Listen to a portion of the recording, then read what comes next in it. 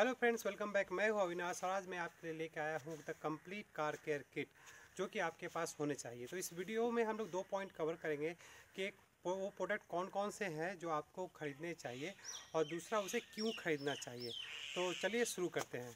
तो जो सबसे पहला आइटम है जो मैं आपको बताऊँगा, जो कि नॉर्मली हमारे घर में भी होता है तो ये समझने के लिए आप सबसे पहले ये इमेजिन कीजिए, जब आप अपनी कार को गैरेज से साफ़ करने के लिए निकालते हैं तो सबसे पहले हम लोग क्या करते हैं? तो यार सबसे पहले हमें क्या करना चाहिए? तो सबसे पहले जो हमें करना चाहिए वो होती है जो कार की फ्लोरिंग होती है, जहाँ पे धूल, मिट्टी या फिर घास के, तिनके जो भी गाड़ी के अंदर आ गए तो उसे सबसे पहले क्लीन करना चाहिए। तो उसे क्लीन करने के लिए जो चीज़ हमें चाहिए, वो नॉर्मली हमारे घर में ही होता है। वो चीज़ है ये वैक्यूम क्लीनर।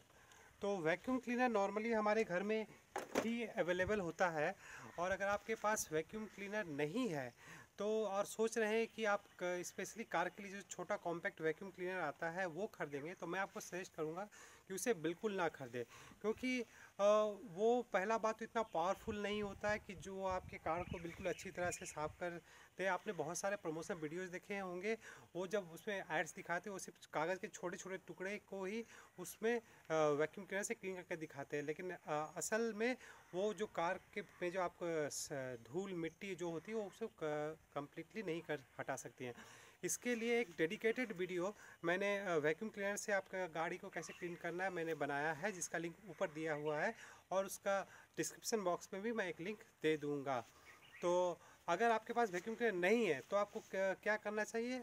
और आपको लेने का भी प्लान नहीं है तो जो ब्रश जो ऑनलाइन मिलते हैं ब्रश और आपका डस्टबिन पैन जो होता है उसे यूज़ करके आप फ्लोर को क्लीन कर सकते हैं। लेकिन उसमें होता क्या है वो एक बहुत ही टाइम टेकिंग प्रोसेस है और उसका रिज़ल्ट भी हंड्रेड परसेंट नहीं आता है।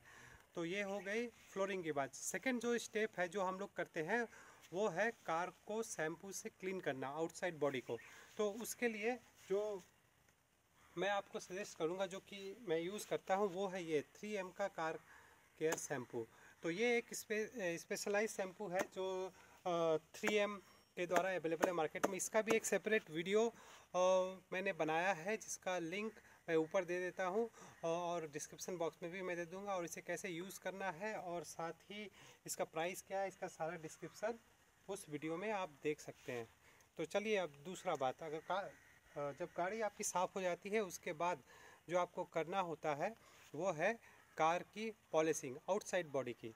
तो उसके लिए जो वैक्स पॉलिश मैं यूज़ करता हूँ, वो है ये 3M का। ये 3M का क्रीम वैक्स पॉलिश है।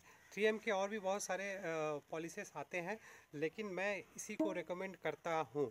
इसका भी एक सेपरेट वीडियो बनाया हुआ है, जिसका लिंक मैं ऊपर आई बटन में प्लस डिस्क्रिप्शन बॉक्स में मैं दे दूँगा, जिसमें इसके प्राइस एवरीथिंग और इसे कैसे यूज़ करना है, वो सारा चीज़ दिया गया है। तो एक बार जब आपकी कार की आउटसाइड बॉडी की पॉलिशिंग हो जाती है तो उसके बाद क्या बचता है? यहाँ पर बहुत सारे लोग बोलते हैं कि इसके बाद और भी कुछ साइन करने की ज़रूरत नहीं है। लेकिन कार की जो इंटीरियर होती है डैशबोर्ड होता है प्लस कार के आउटसाइड में जो प्लास्टिक ब्लैक मैट जैसे ये जो पोर्शंस है, अंदर की और बाहर की डैशबोर्ड दरवाजे, उसे भी आपको पॉलिश करने की ज़रूरत पड़ती है। तो उसके लिए जो प्रोडक्ट है, वो है ये 3M का डैशबोर्ड साइनर तो ये भी 3M का ही प्रोडक्ट है। इसे भी कैसे यूज़ करना है, इसका प्राइस क्या है, इसका एक सेपरेट वीडियो बनाया हुआ है, जिसका लिंक मैं ऊपर आई बटन में और डिस्क्रिप्शन बॉक्स में भी मैं दे दूँगा। तो ये हो गई। अब जो लास्ट प्रोडक्ट है, जो कि नॉर्मली 90 परसेंट लोग इग्नोर करते हैं, वो है टायर साइनर ये भी 3M का प्रोडक्ट है टायर साइनर आप बोलेंगे, आप टायर साइनर की ज़रूरत क्या है?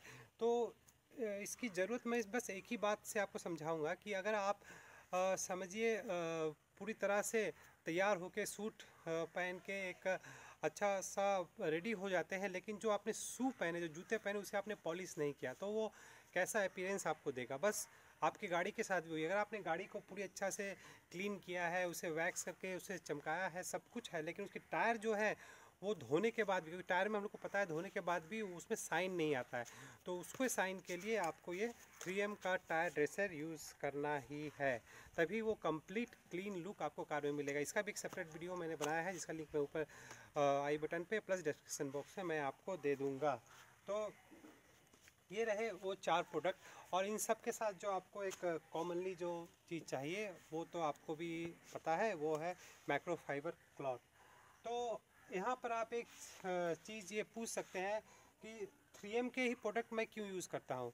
तो इसका दो मेन रीज़न है। पहला तो मेरा जो पर्सनल एक्सपीरियंस रहा है, मैंने 3M के यूज़ करने के पहले भी बहुत सारे प्रोडक्ट्स यूज़ किए हैं अलग अलग कंपनीज़ के, लेकिन उससे मुझे वो रिज़ल्ट नहीं मिला जो कि 3M के प्रोडक्ट्स से मिला है। दूसरा चीज़ जो है, आप किसी भी आ, कार मैन्युफैक्चर के सर्विस सेंटर में जाइए चाहे वो यूंडाई हो मारुति हो जो भी हो मैक्सिमम सर्विस सेंटर जो अपने सर्विस सेंटर में जो प्रोडक्ट यूज़ करते हैं वो 3M का ही होता है। तो दोस्तों ये था कंप्लीट कार केयर किट या प्रोडक्ट जो आप बोल सकते हैं जो आपको ज़रूर से होना चाहिए। ये जो प्रोडक्ट बेयर मिनिमम प्रोडक्ट है जो आपके कार के केयर के लिए आपको ख़रीदना चाहिए।